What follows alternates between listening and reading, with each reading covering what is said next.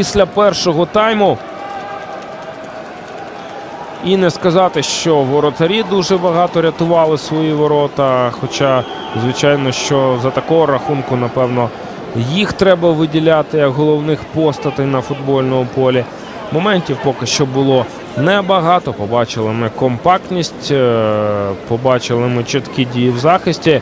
Ну і пересвідчимося через статистику 6 ударів Олімпіка, 5 в Чорноморця. Доволі рівна гра і жодного сейва е, від е, воротарів обох команд.